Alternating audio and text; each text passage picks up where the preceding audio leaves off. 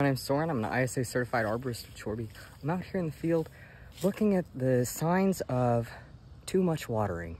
One of the things you might see are these kind of splotchy leaves. This is most likely as a result of bacterial infection. Uh, and when I looked at the soil here, as you can see, it is quite wet.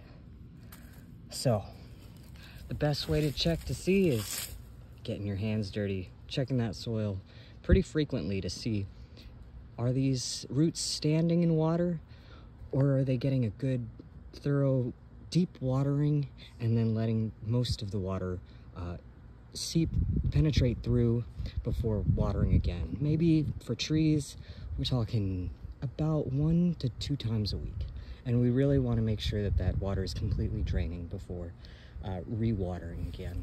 Otherwise, we can end up with splotchy bacterial leaf, uh, as well as possible dieback, all sorts of issues.